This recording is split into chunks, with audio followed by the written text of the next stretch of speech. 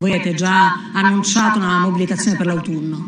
Beh, è successo che non si è avviato nessun confronto vero, a parte una richiesta, la riduzione del cuneo, che però non lo sta facendo come l'abbiamo chiesto noi, strutturale, intanto è solo per sei mesi e solo per i lavoratori e non coinvolge i pensionati. Sul resto siamo di fronte a tavoli finti, sulle pensioni non c'è nulla, sulla sanità continuano a tagliare, sulla riforma fiscale in realtà vogliono andare alla flat tax e stanno aiutando gli evasori fiscali, sulla questione della lotta alla precarietà non sta succedendo assolutamente nulla, sul salario minimo non lo vogliono fare, sul rinnovo dei contratti pubblici non stanno mettendo un euro.